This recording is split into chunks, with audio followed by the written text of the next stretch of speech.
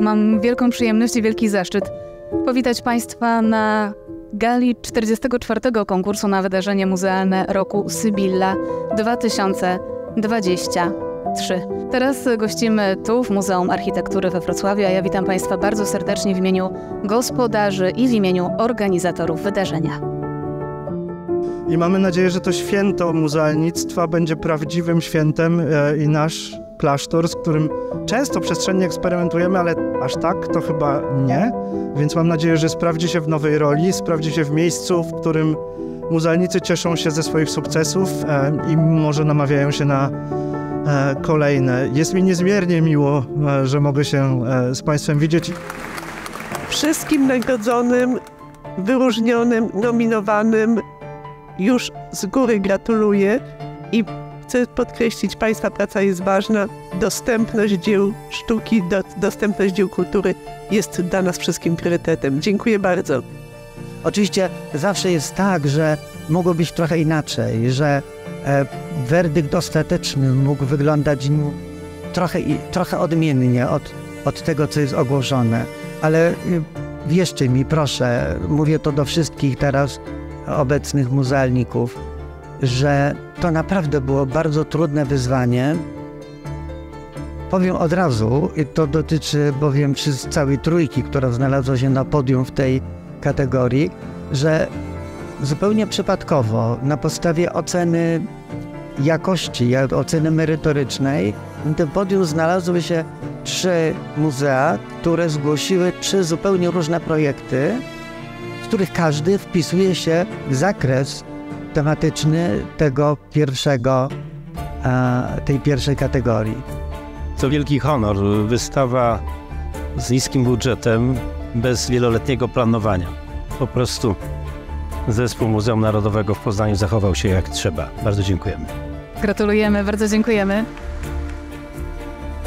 To jest najliczniej obsadzona kategoria, mówiąc takim sportowym językiem, obok wystaw czasowych.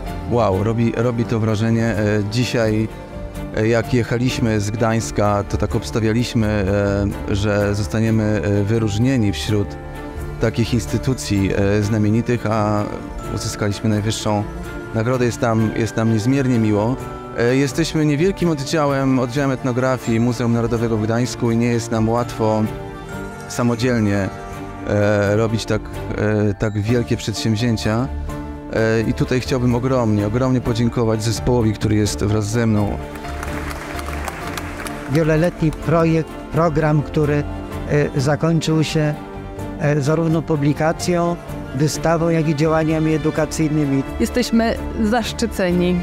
To wielkie wyróżnienie i docenienie naszej pracy i myślę, że naszej pasji do zgłębiania, do badania, ratowania i promowania kultury ludowej naszego regionu. Trzymając tę statuetkę, chciałam bardzo podziękować i pogratulować wszystkim pracownikom i współpracownikom Muzeum Kultury Ludowej w Kolbuszowej. W tym wielkim boomie muzealnym w cieniu znajdują się muzea cywilizacji, jakimi są muzea i zbiory techniczne. Służą refleksji nad budowaniem, em, nad codziennym budowaniem naszej rzeczywistości. Szanowni Państwo, jestem bardzo stremowana i jestem y, też potwornie szczęśliwa i y, bardzo zaskoczona tym, że ta nagroda przypada właśnie nam, bo y, tworzenie tej wystawy było dla naszej instytucji chyba takim y, wydarzeniem, doświadczeniem formacyjnym. Byśmy przy okazji y, tworzenia tej wystawy zrozumieli, jakim muzeum jesteśmy, jakim chcemy być, z czym chcemy zwrócić się do naszej publiczności. I to było doświadczenie absolutnie bezcenne. Muzealnictwo techniczne nie przemawia takim bardzo donośnym głosem. Tym bardziej cieszę się, że ten głos został usłyszany. Bardzo serdecznie dziękuję. podjęcie tego tematu, a jednocześnie w taki klarowny sposób i przejrzysty ekspozycyjnie, ta śmiałość podjęcia tego tematu, konieczność zmierzenia się przez nas wszystkich, przez całą polską społeczność tą sytuacją, chociażby w sposób symboliczny dla wynagrodzenia tych cierpień, które ponieśli Warmiacy, Ślązacy, Kaszubi, czy gdańszczanie, jest koniecznością. To wyróżnienie, tę nagrodę zawozimy nie tylko naszym projektantkom, artystkom, Zuzannie Doledze i Agacie Cieśnik, które nadały takiej artystycznej formy, ale też tym spośród naszych rozmówców, którzy stwierdzili, że chcą o tym powiedzieć, że chcą powierzyć nam rodzinne historie, chcą powierzyć nam rodzinne pamiątki i którzy chcą w jakimś stopniu przerwać milczenie. Miejsca zagłady są zawsze miejscami szczególnymi, wymagającymi a, wielkiej uważności i troskliwości w ich, no powiem, zagospodarowania, ale w rozumieniu takim, y, jak należy, to znaczy w utrzymaniu, udostępnianiu publiczności i zachowaniu dla przyszłości, a jednocześnie z próbą ewokowania pamięci o tym, co tam się działo.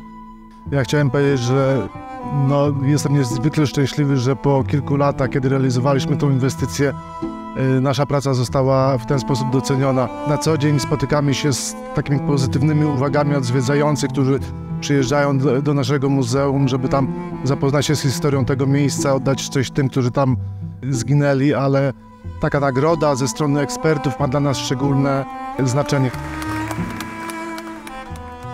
Dziękuję. Wystarczy tyle powiedzieć. Dziękuję tym wszystkim, którzy oddali na nas głos. To wyjątkowa nagroda i to jest nagroda dla wyjątkowego, wspaniałego zespołu Zamku Królewskiego na Babelu. e, nasze myśli i jakoś w sposób bezwiedny skierowały się e, wszystkich w stronę Kolbuszowej. Cóż, wygląda na to, że kolejna gala odbędzie się nie nad Wisłą, nie nad Odrą, ale nad Nilem, który leniwie płynie przez Kolbuszową. Już dziś wiem, że to będzie ogromne wyzwanie. No cóż ja mogę powiedzieć? Ja to powiem tak po lasowiacku. Loboga, loboga. Ludziska, bierta buty, bierta łonuce i przydyrdojta do nas do Kolbuszowy. Bo nasz co Kolbuska najpiękniejsza na świecie. Dwadzieścia parę lat temu zaczęliśmy tą ścieżkę edukacji muzealnej, a w zasadzie powinienem powiedzieć pedagogiki muzealnej, ponieważ prowadzimy za rękę rzeczywiście rzesze ludzi poprzez historię Polski, poprzez historię europejskich wzorów osobowych. Ogromną satysfakcją jest dla nas radość e, nagrodzonych muzealników, czasami zaskoczenie, czasami zdziwienie, ale zawsze ogromna satysfakcja. Jestem dumna z ogromnej pracy muzealników i muzealniczek, z tego, co robią polskie muzea, z tego, w jaki sposób docierają do swoich odbiorców, zarówno w wielkich miastach, ale też najbardziej dumna jestem z niewielkich ośrodków, które dzisiaj otrzymały swoje nagrody. Projekt e, cały jest pokłosiem naszych wielu międzynarodowych projektów i wielu działań edukacyjnych e, i wystawienniczych, które czyniliśmy przez, przez ten czas. Jest owocem ogromnej, ciężkiej pracy całego, całego zespołu oddziału etnografii Muzeum Narodowego w Gdańsku.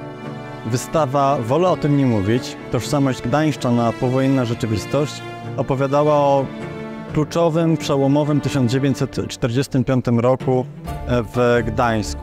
Czy to doświadczenie milczenia może dotyczyć e, również nas? Czy my nie wolimy o czymś milczeć po to, aby odpowiadać na oczekiwania większości? To jest inwestycja, której celem była budowa muzeum, upamiętnienie tego miejsca i taka nasza powinność historyczna do tego, żeby należycie zabezpieczyć prochy ofiar obozu i oddać też cześć tym, którzy znieśli bunt w obozie w październiku 1943 roku. Muzeum Pałacu Króla Jana III kultywuje zastane w miejscu dwie tradycje dobrze rozpoznane w badaniach historycznych, naukowych, artystycznych. Fenomenu, jakim jest rezydencja królewska Króla Jana III jednego z pierwszych muzeów na ziemiach polskich, szeroko rozumianych, czyli dawnej Rzeczpospolitej, wielu narodów. Wystawa obrazów Jacka Malczewskiego przywiezionych z, z Lwowa, z Lwowa zagrożonego atakami, e, była wystawą szczególną. Niezwykle wpisywała się e, w pewien sens tego czasu. Nie widziałem tylu ludzi wzruszonych w czasie wernisażu nigdy. Nie widziałem takich tłumów na oprowadzeniach. Nie widziałem kuratora, który by miał ponad 100 oprowadzeń. Nagroda jest dla nas istotna nie tylko dlatego, że y, jest to pierwsza tak ważna nagroda w historii naszej instytucji, ale również dlatego, że reprezentujemy tę gałąź muzealnictwa, która w Polsce cały czas jest gałęzią, powiedziałabym, lekko niedocenianą. Głos muzealnictwa technicznego nie jest głosem, który jest e, bardzo wyrazisty. Tym bardziej cieszymy się zatem z tego, że został on usłyszany przez jury i nasza wystawa została doceniona. Bardzo serdecznie zapraszamy. Poprosiliśmy e, autorów o przygotowanie artykułów, e, które wstępnie zebrane w tom o tytule takim jak e, realizowane zadanie e, miał e, być takim rodzajem kompendium wiedzy o lesie e, w jego rozmaitych aspektach. Czy się udało? E, Mam nadzieję, że czytelnicy będą mogli e, ocenić to sami. My staraliśmy się e, materiały, na ile to tylko możliwe, udostępniać na naszej stronie internetowej. Mnóstwo tam i fotografii terenowych, i tekstów, które też tam zamieściliśmy, nut, pieśni o lesie. No i koniec końców zamieściliśmy też i książkę, która jest również dostępna na naszej stronie. Można przeczytać ją e, online.